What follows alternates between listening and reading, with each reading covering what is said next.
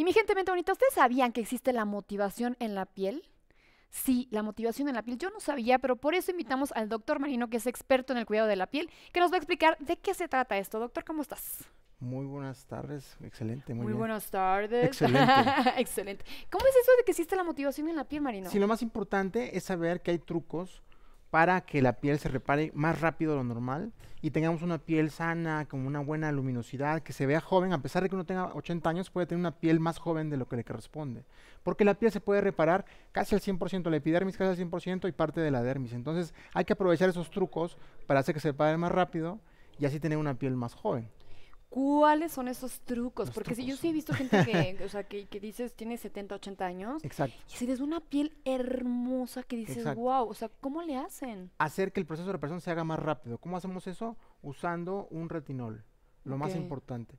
Segundo, este, hacer una exfoliación Un constante retinol de la es una piel. crema que compras en la Una- farmacia. Una crema que compras en la farmacia. Ok. Y aparte, hacer exfoliación de la piel, es decir, la piel se puede exfoliar cada 3 a 4 semanas porque se repara más o menos en ese tiempo. Entonces puede sacar nueva piel cada mes. Entonces podemos tener nueva piel cada mes. Hay gente de 40, 50 años que tiene una piel de 20. O sea, sí es posible. Y es una forma, el conocimiento es una forma de que una persona se sienta motivada a cuidar su piel. Porque si tienes, eh, digamos que ignoras este tipo de cosas, o por lo menos eh, esto no es como de uso común, ¿no? ¿no? No te lo dicen los dermatólogos tan fácil porque quieren que vayas a su consulta, pero aquí vamos a decir todos los secretos.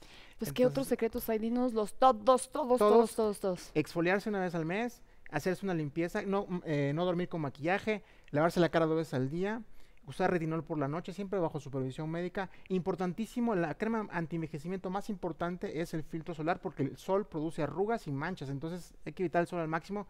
Digo, es un poco, eh, también un poco con- contra- controversial porque el sol tiene un efecto bueno que es la síntesis de la vitamina D. Entonces en pacientes con osteoporosis sí se recomienda un poquito de sol, pero no en la cara, ¿no? Puede llegar un poquito de rebote al cuerpo. Y por ejemplo, también tiene que ver el dormir bien, comer bien, tomar Exacto. este, tomar este agua, eh, tiene que ver mucho el, el si tomas alcohol o no, todo eso también tiene que El ver, ¿no? cigarro envejece la ¿El piel. cigarro súper cañón? cañón, sí, sí. Hay inclusive unas arrugas del fumador que se ponen aquí, que son los códigos de barras, se ven súper mal. Y aparte la piel se ve acartonada y se ve como pálida, como ah, más oscura de lo normal.